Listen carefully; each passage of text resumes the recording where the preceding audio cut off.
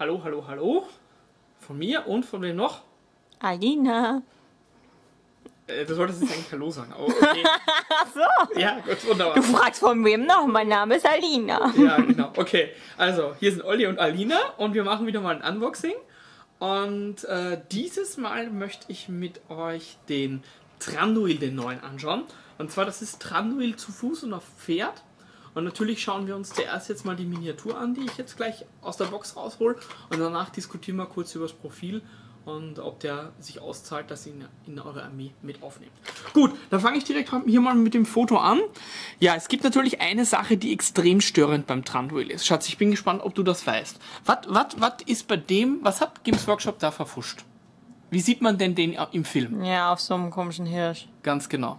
Seht ihr? Das fällt sogar jemanden, der mit Herr der Ringe nicht viel am Hut auf.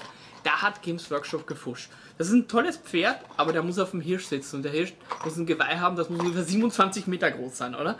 Damit er vier Orks gleichzeitig aufspießen kann. Ja, unabhängig davon, der, das Modell sieht äh, bemalt extrem gut aus, finde ich persönlich. Und wir schauen uns das jetzt auch direkt mal in der Box an. So. Jo. So. Gut, ich fange mal an. Es sind mehrere Teile in der Verpackung drinnen. Sieht irgendwie gefährlich aus, was du da Ja, ja, das ist extrem gefährlich, was ich hier mache. So. Okay. Das hier ist ein Teil des Pferdes. Und boah, das Gesicht ist echt klasse gemacht. Also das sieht echt super aus. Mhm. Schade, schade, schade, dass das äh, Pferd abgeschnitten wird, weil wir natürlich machen wir was. Wir machen alle einen Umbau. Äh, der Piccolo Man Patrick hat das als erster gemacht, die Anja hat es auch schon gemacht. Wir setzen den alle auf einen Elch. Da gibt es äh, die Waldelfenreiter von Warhammer, da gibt es Hirsche und da kann man den extrem gut draufsetzen und das machen wir natürlich alles. Aber unabhängig davon, ganz tolles Modell, also die Rüstung sieht echt richtig klasse aus. Ja, das ist die andere Seite. Und hier wird er dann direkt abgeschnitten und dann dran gefügt. Jo, das ist der erste, der erste Gussrahmen. Das ist der zweite Gussrahmen hier. Und ich muss jetzt ehrlich gestehen, ich bin gar nicht sicher, ob das der richtige Gussrahmen... Doch, das ist der richtige Gussrahmen, äh, der auch noch zum Pferd dazugehört. Und die zwei brauchen wir natürlich an der Stelle dann nicht, aber wir brauchen den Gussrahmen, wo auch noch ein Teil des Mantels und des Schwerts drauf ist. Natürlich jetzt, wie das bei Feinkast üblich ist, ist das Schwert ein bisschen verbogen.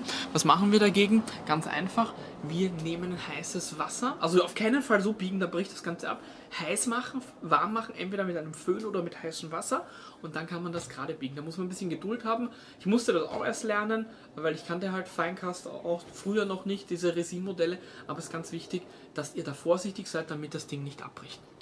Wir haben einen dritten Gussrahmen hier drinnen und das ist das Zu-Fuß-Modell und das gefällt mir fast noch besser als der ähm, auf dem Pferd. Also echt klasse. Hier so ein bisschen überstehend, das ärgert mich ein bisschen. Ich hoffe, da ist das Gesicht nicht verfuscht, aber sie echt, das ist ein tolles Modell Games Workshop, da kann man sagen, was man will. Besteht aus vier Teilen. Wir haben zwei Schwerter. Warum er zwei Schwerter hat, besprechen wir gleich. Wir haben äh, den Körper und wir haben hier so einen kleinen Teil. Ich glaube, das ist von der Schulterplatte hier beim, äh, bei der Rüstung. Ja, natürlich sind die Bases dabei von Games Workshop, ähm, die ich nicht benutze, aber die kann man natürlich für andere Zwecke gebrauchen, wie äh, zum Beispiel Szenario-Marker machen oder für unsere Bäume, die wir sehr stark benutzen. Ja, schauen wir zum Profil. Also ich muss sagen, das ist eins der besten Profile, die es auf jeden Fall im Spiel gibt. Äh, jetzt nahkampfmäßig. Der Tranduil kostet 130 Punkte, hat die Option auf dem Pferd. Wie gesagt, wir setzen ihn alle auf einen Elch. Exzellenter Reiter, Waldbewohner. Er hat Kampfkraft 7, was extrem stark ist. Ist wesentlich stärker als die anderen guten Helden eigentlich. Es gibt ganz wenig Helden, die so. Drei Heldentum, drei Willenskraft, drei Schicksal. Und jetzt kommt der Oberhammer.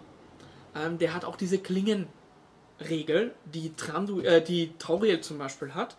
Aber er hat den Klingenfürst. Und äh, da äh, ist es noch besser. Das heißt, wenn der Tranduil nicht auf dem Pferd sitzt, sondern wenn er zu Fuß unterwegs ist, dann kriegt er schon automatisch eine Attacke dazu. Das heißt, er hat schon von Haus aus vier im Profil. Und für jede weitere Beko äh, Modell, das er attackiert, mehr als eins, bekommt er eine Attacke dazu. Das heißt, er kann im Idealfall, wenn er gegen sechs Modelle kämpft, hat Tranduil neun Attacken. Und das ist natürlich der Oberhaupt. Da wird er eine 6 würfeln, er hat K7, da wird er den Nahkampf gewinnen und dann schnetzelt er alles kaputt, was irgendwie möglich ist. Zuzüglich kann er natürlich noch äh, Truppen anführen, was extrem stark ist. Und äh, die Düsterwald-Elben sind gute Truppen, sind ähnlich wie Galadrim, äh, sind, sind gute Truppen, das heißt ein wahnsinnig starker Held, der auch ein tolles Modell ist. Natürlich muss man sich entscheiden, möchte man den Nahkampf Tranduil haben, das ist also eher aus dem dritten Teil, oder möchte man den zaubernden Tranduil haben, den Games Workshop erfunden hat, der auch zu den besten Modellen im Spiel generell gehört. Die Entscheidung überlasst ihr, lasse ich euch natürlich. Mir persönlich gefällt dieses Modell richtig gut und ich werde mir auf jeden Fall eine Truppe um den äh, König des Waldlandreiches, so heißt dieses Modell Tranduil, König des Waldlandreiches, äh, werde ich mir aufbauen und äh, dann auf jeden Fall auch mal mit in die Schlacht ziehen bei einem Turnier. Ja, wenn euch das Modell gefällt, was macht ihr dann, Schatzi? Daumen hoch. Daumen hoch, ganz genau. Wenn äh, ihr was zum Modell hinzuzufügen habt, dann nutzt die Kommentarfunktion. Äh, äh, abonniert unseren Channel, wer euch gefallen hat. Und natürlich könnt ihr gerne das Video teilen. Ich wünsche euch noch einen schönen Abend. Bis bald. Ciao.